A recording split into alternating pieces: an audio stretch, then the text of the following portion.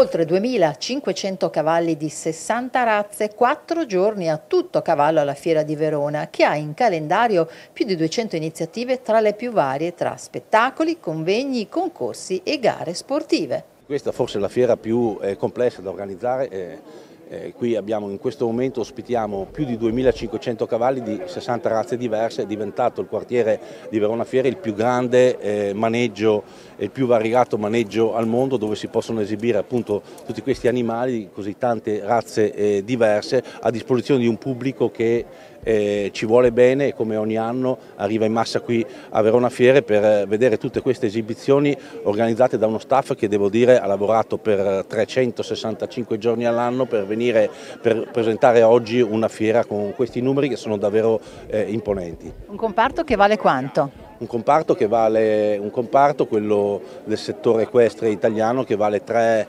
1,2 miliardi di euro, dunque una parte importante del PIL italiano, ma un comparto anche che vuole crescere, è un comparto che può crescere se sostenuto adeguatamente. Noi come Verona Fiere siamo qui anche per aiutarli attraverso eh, questa Fiera Cavalli a promuovere sempre di più questo settore che cresce anche nel turismo, nell'ipoturismo, dunque nella voglia di stare all'aperto, di tante famiglie che hanno riscoperto la voglia di stare all'aperto dopo le chiusure Covid del 2020-2022 ed ora dunque un settore che sta davvero pensando a, a fare un salto di qualità importante. Una fiera comunque che, anche, che, è una tradizione per la città, insomma comunque per il paese, ma c'è ancora qualcosa di nuovo da vedere,